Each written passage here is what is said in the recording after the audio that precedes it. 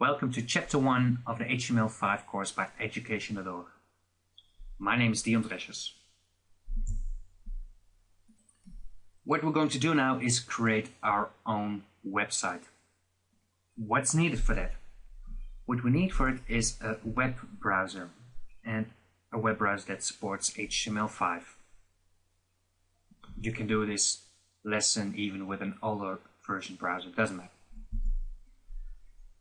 Internet Explorer is a web browser for Windows, Firefox, Opera, Google Chrome, or Safari for Apple, and even there's a Windows version. If you want the newest version that supports HTML5, I can redirect you to the website uh, of Firefox, and you can download here the newest version of um, of Firefox. And it recognizes I have a Windows version, so it will download the Windows version. If you're running a Mac, it will show you here the Mac version, and Linux it will show you Linux version. What do we need more? We need a simple text editor.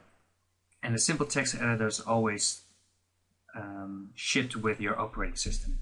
Um, Notepad for Windows, TextEdit for Mac OS and gedit for or an alternative for Linux. What don't we need for creating our own website? What's not needed? A web server. We don't need a complex web server. Also, we don't need an internet connection. We can start right away. And let's start right away. Um, I'm starting Notepad. I can say hello world. And I'm going to save it. It's imported to save as a plain text document, save as a plain text document. Um, the index, the file name always has to be index for the first page .html. This is always to be first the name for the first website I create. And I'm going to save it now on my desktop and save it. Let's go to my desktop and here it recognizes automatically uh, it's HTML so it recognizes it's for the web browser, my default web, web browser Firefox.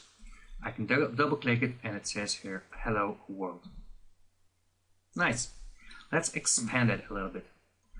Um, I can say hello world um, this is our first website. So file save. I'm going back to my browser and I'm going to reload it. I can also push F5 and it says hello world. This is our website, but I don't see uh, the spaces between. Well, that's actually true because the web browser and HTML doesn't recognize uh, all those breaks I make, so they're useless. If I want to break it, I have to use HTML, and now we're going to actually start with HTML. I'm going to do it with a so-called HTML tag. A tag looks like this. It's a smaller than sign, and it always ends with a greater than sign. And in between those signs, I have to define my tag and I want a break. And it's defined by BR. So this is my break. And we're going to see if that works. File save. So next time we'll use the combination um, Control S. Go back to my web browser, push F5 for reloading, and it says, yeah, hello world, this is our first website. I can even put in another break and another one and save it. Control S back to the browser F5 with reload. And I can see it's working. I can even put everything on the one line. It doesn't matter. Save go to the web browser F5 and it still looks good we're going to show you that I also can do it with a more complex text editor and I'm going to start um, LibreOffice Writer. So I can say hello world again. If I want to save it, save as, going to the desktop. And now it's important, don't save, save it as an ODT, don't save it as a Word document, just plain text like this. And now I can save it as um, index again. Well, let's overwrite the old one. We have save. Do you want to replace it? Yes. Go back to the browser, reload, and hello world again. So even if you use a uh, more complex text editor, always save as text.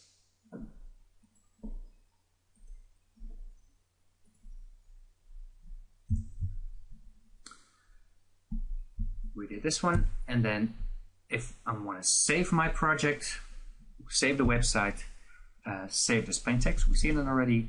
The extension has to be HTML, so it's recognized as an HTML document. And the first file you always create has to be index.html. So what did we see in this video? The review. What's needed? What's needed for this one is a web browser and a text editor. What's not needed is a difficult web server or internet connection or whatsoever. Saving our project always as plain text and the extension has to be HTML. This was Dion Dresch for Adducation.org and I want to thank you for staying smart.